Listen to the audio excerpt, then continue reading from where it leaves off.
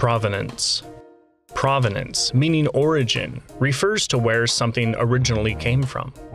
The provenance of an artwork is determined by records of who has owned it, where it has been stored and displayed, who created it, and whether it is a reproduction or an original. We can use an artwork's provenance to learn about its history and determine its value.